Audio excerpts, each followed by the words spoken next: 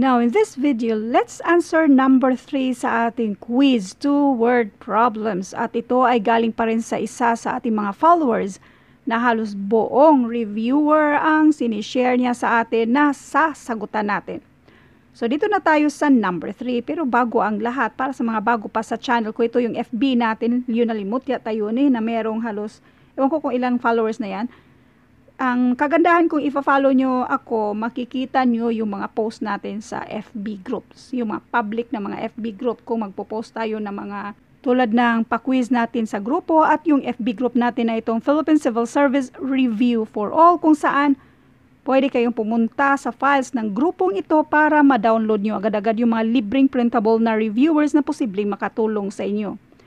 At ito naman yung iba pang mga FB groups na lagi nating tinatambayan. Pwede rin kayong pumunta sa mga files ng grupong dyan at maraming nakashare dyan ng mga files na binibenta ng iba pero libre nyo lang palang makukuha. Otherwise, isend nyo sa akin yung email nyo. Mas maganda dito kayo sa FB page na ito, Lunalin Vlog. Isend nyo yung email nyo sa akin. Dito nyo na lang i-message at ibibigay ko sa inyo yung mga libreng printable na reviewers. Pakilagay na lang kung anong klaseng reviewer ang gusto nyo. At ito naman yung iba pang mga FB pages na posibleng makatulong sa inyo. Now, number three, basahin natin yung problem. A conductor earns 320 pesos for every three trips he makes. How much does he earn if he makes 12 trips? Dahan-dahanin natin. Kada trip, meron siyang 320 pesos. Kada 3. 3 na trips. Meron siyang 320. Ito ay 6. Isa pang tatlong trips. Yan ay 9 na. Isa pang tatlong trips. Yan ay nagtotal na ng 12 trips. So, 320, 320. I-add mo yan, otherwise, i-multiply mo lang si 320 by 4. Mamaya na yung 0, so this is 8. 3 times 4 equals 12. I bring down mo yung 0. So, ang sagot ay 1,280, letter C. Now, another way of solving this ay meron tayong tinatawag na ratio and proportion. So, doon tayo sa ratio and proportion. 320 is to 3. Ang isa ay hinahanap natin, let x yung hinahanap natin. Ito ay trips. So, dapat ito ay trips din. So, kung ito yung pesos, ito yung trips, dapat yung pinakauna yan yung pesos at ito yung trips. Next, 320 times 12. Isa-isahin natin si 320 times 12. Mamaya na yung 0. So, this is 32, 4, 8, 3. Bring down mo si 0.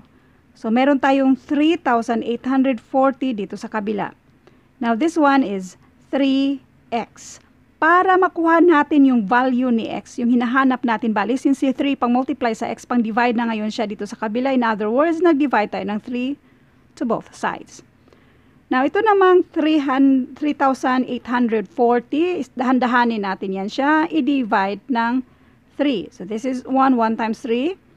So, dito ay 0 na, i-bring down mo si 8. Ilang 3 ba sa 8? Dalawa lang. So, 2 times 3 equals 6. I-minus mo 2 and that is 2. Bring down mo si 4. 24 divided by 3 and that is 8. 8 times 3, 24. So, 0 na. Mayroon pa isang 0 na natira. Kopyahin mo na lang sa taas. Kaya ang sagot, 1,280. Pangatlong solusyon para marami kayong choices kung paano nga ba ito isolve. Pero yung prefer ko yung ano, yung pinakaunang solusyon natin basta ma-think mo lang na may apat sa 12 yan yung i-divide mo ay i-multiply mo bali sa 320. So anyway, doon tayo sa pangatlong solusyon natin. 320 per 3 trips. Ang sa kabila, hindi pa natin alam kaya yan ay yung X na ma-earn niya in every 12 trips. I-cross multiply mo lang yan siya. So, pag- kapag i-cross multiply mo lang yan, pariho lang yan sa solution number 1 natin na ang sagot ay 1,280. Ma'am, medyo naguguluhan ako sa mga explanations niyo, ma'am. Simplihan natin. Focus tayo dito sa mga trips. Meron tayong 12 trips at meron tayong 3 trips. I-divide natin yan siya.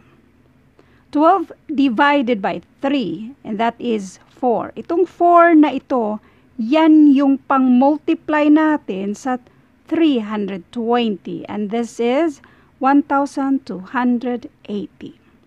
Thank you for watching at I hope mayroon kayong natutunan sa video ito at abangan sa next na video itong number 4. Basahin natin. Jane Mark is three times as old as Danica. Age problem tayo. If Danica is 32 years younger than Jean Mark, what is the sum of their ages? By the way, para sa iba pang mga examples or yung mga dati na nating na-upload na age problem, pwede nyo mang search yung iba age problem.